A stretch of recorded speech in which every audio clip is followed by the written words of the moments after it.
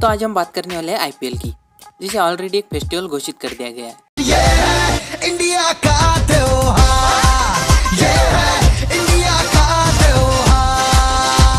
तो आईपीएल का तेरहवा सीज़न चालू हो गया है और हर बार की तरह इस बार भी आप सभी की अपनी अपनी फेवरेट टीम होगी बोलो बोलो। तो इस साल की मेरी फेवरेट टीम है आरसीबी बे हंसो मत। इसके पीछे भी रीजन है बताता हूँ। आईपीएल चालू होने के ठीक एक दिन पहले मैंने ये ऐड देख ली। तुम लोग 200 रन तक तो बना लोगे ना? एटलीस्ट आराम से।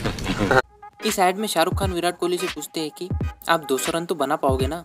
तो बड़ी ही सरलता से विराट कोहली कहते हैं एटलीस्ट लेकिन फिर जोश के साथ पार्थिव पटेल कहते हैं कि नहीं भाई हम तो उससे भी ज़्यादा बनाएँगे। और फिर होता है ये। क्या से क्या हो लोग 200 रन तक तो बना लोगे ना? एटलीस्ट आराम से। एटलीस्ट आराम से।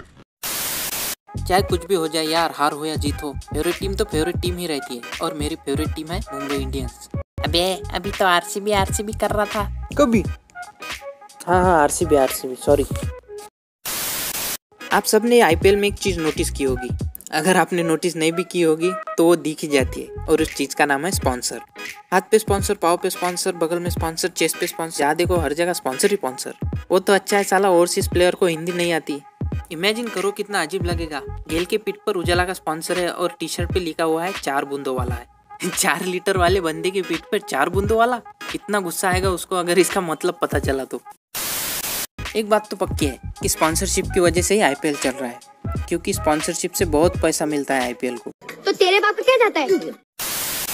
हर किसी की फेवरेट टीम अलग अलग होती है तो इसी के चलते हर मैच के टाइम दोस्त लोग दो ग्रुप में बढ़ जाते हैं। मैच के टाइम तो इतना रोल में घुस जाते हैं जितना खेलने वाली टीम भी नहीं रहती। उधर मैच में किसी ने सिक्स लगाया तो ये इधर इतना ज़ोर से चिल्लाएँगे। तो साला एम्पायर भी टीवी से मुंडी निकाल कर कहेगा कि अरे भाई शोर थोड़ा कम करो प्लेयर्स को डिस्टर्ब हो रहा है। हमारे ग्रुप में एक ऐसा बंदा ज़रूर होता है जिसे आईपीएल जरा भी पसंद नहीं होता। लेकिन फिर भी वो हमारे साथ बैठकर मैच देखता है।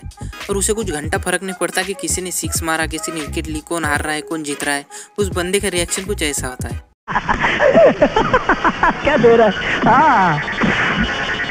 तेरी माँ मर गई क्या? नहीं। फिर ताली क्यों नहीं बजाता? देखता नहीं कि राजा बाबू को मज़ा आ रहा है। चल ताली बजा बजा। आईपीएल के टाइम कुछ लॉजिकल और बहुत सारी बिना लॉजिकल वाली एड्स भी चलती रहती है। दूध लाए।